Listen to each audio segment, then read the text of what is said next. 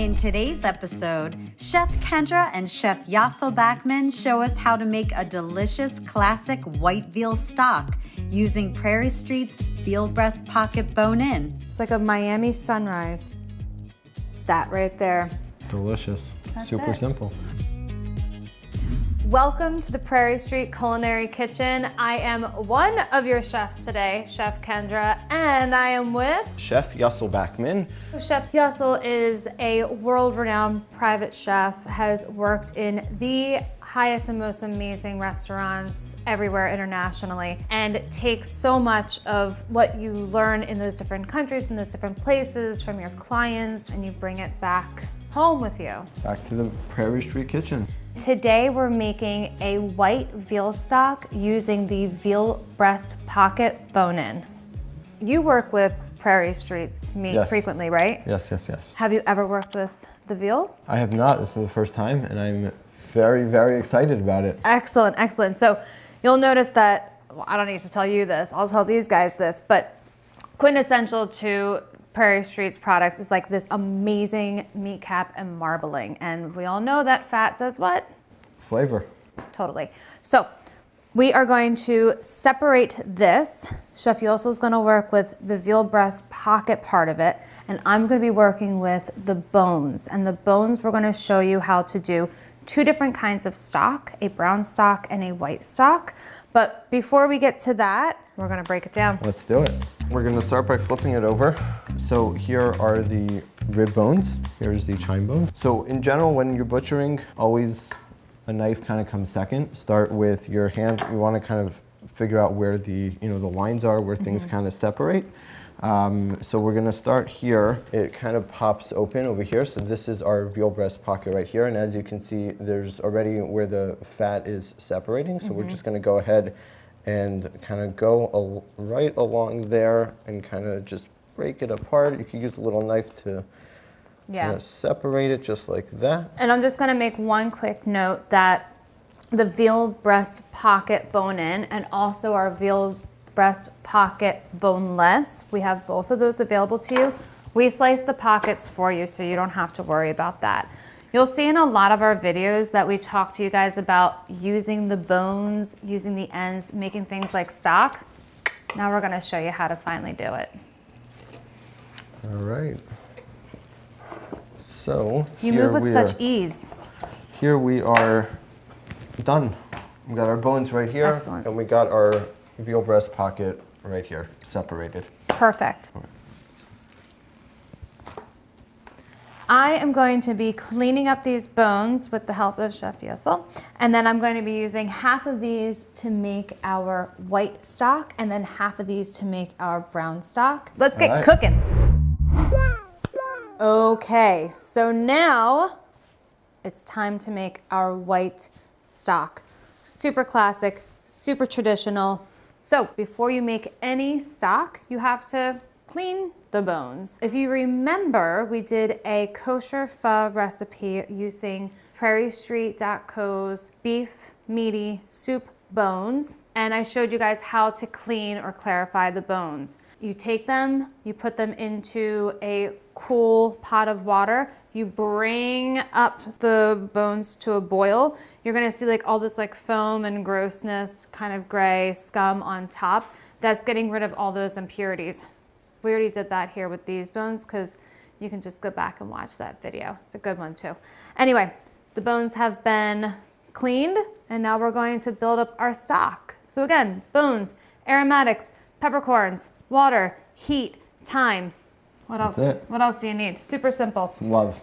Oh, always. always love. Always the love. So we're gonna take our bones, put them down into our pot of water, and then I'll go through some of our ingredients here. So some black peppercorns, whole. My little favorite bouquet garni. So I use rosemary, thyme, and some oregano in this. It's- You'll notice that it's on a string. This is kind of like keeping it as a tea bag because the longer you keep it in, the more flavor you're gonna get out of it, and it also helps to keep it all together, okay? So they can go in, submerge, nice. And then you'll notice that these guys are kind of going in whole. So they're gonna be taken out at the end of the stocking process. So I have a nice leek, cut lengthwise, some white onion, celery. I love the leafy part of the celery, that can go right in. Half of a garlic sliced down horizontally, right in. Half of a shallot, because I love that like nice sweet, Sweet flavor. super light flavor of the shallot. And a couple of carrots. So that's pretty much it. Now is like the time and the water management process of stock because stocks are all about water management. We're taking these flavors, we're going to bring them to like a nice kind of soft boil and then we're going to bring them down to a simmer. Then you can add more water, bring it up a little bit more and then bring it down again. It's this like really nice kind of marriage of flavors dance to play with. The other thing I definitely want to point out is that in stocks, we do not salt our stocks. I'll let you explain why.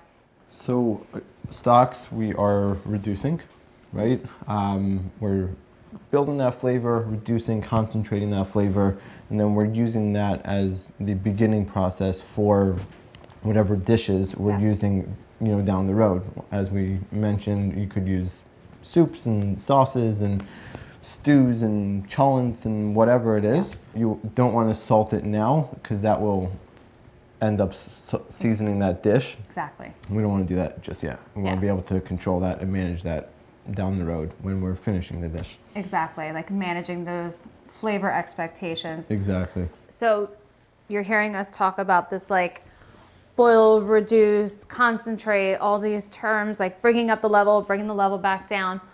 All that means is that you, the water level is high right now. As it cooks, the water will evaporate and the flavors will condense. The actual liquid will condense down. That takes about like, for the first time, takes about like an hour until like you will really notice a difference in like the level of water in your pot, right? Then you can add some water back up, maybe not so high, maybe just Three quarters. about three quarters of the way. Exactly. You always want to keep those bones as covered as humanly possible. Doesn't always work out that way. And then you let it come down again. The second time happens a little bit faster. So that's about like 30 minutes, would 30, you say? 40, yeah. Yeah, like 30 to 40 minutes.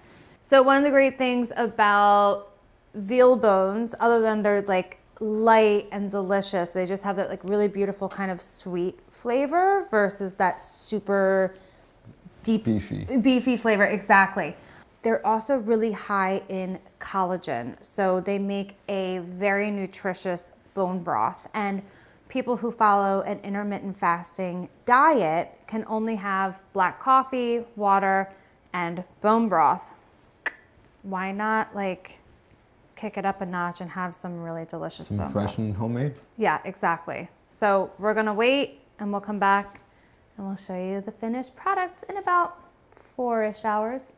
See you in a bit. And there we have it, our white Our white veal stock. Chef Yossel had removed the bones from that veal breast pocket bone in. We clarified the bones, we added in some aromatics, Yes. brought it Some up, let it sit for what, like four and a half hours? Just about. Boom. Gold. Let's taste. Literally. I know I can't That's even the color like you're going for. It really is. And it is this like super beautiful kind of like sunrise. yes. It's like a Miami sunrise. Oh, that's delicious. That right there. No Mm. salt. I always get so amazed with stocks when they are done properly. You will not believe it. You would think that there was salt in here. Not even a singular And granular a, a good stock, you also still have a little bit of fat on top, and Yes. you can really feel that in your mouth. It really coats your mouth. A proper stock should really, like, almost take over and like really, like, really, really feel it, and Yeah. not just taste it, but you really feel it in your in your mouth as well. Yeah, and that's one of the great things about using the veal bones versus just like the beef bones is that veal bones naturally have more collagen, collagen in, them. in there, yeah. So you are going to get more of that unctuous mouthfeel. Mm-hmm. So there you have it, our white veal stock done with the bones that we had cut off of the veal breast pocket bone in. Delicious. That's Super it. simple. And just you know, a couple things that you can do with this before we before we send you on your way to go to prairiestreet.co and order the veal breast pocket to make it yourself. Um, you can freeze this for like up to six months, and then you gave a Freeze great it tip. in a ice cube tray. Yes. That way you can just pop it out, whether you're just drinking it, Yeah. or whether you're throwing it into Rice. I mean, like I actually. yeah, cook rice in Yeah, it, I throw use- it in your cholent, throw it in, make a sauce out of it Yeah. for your date night at home. Whatever it is, Boom. just pop it out and you're good to go. There you got it. All right. We'll see you next Sunday, 2 p.m. Eastern, right here. Go to our website. We have like a gazillion amazing um, videos for you to help you feel really confident in the kitchen. But remember, it all starts with the meat. All starts with the incredible raw product. Totally. That's where it all starts. That's it. We'll see you next time. Subscribe to our channel now and set your notifications so you don't miss our latest recipes and chef led tutorials. Then head over to prairiestreet.co to shop for your next big meal.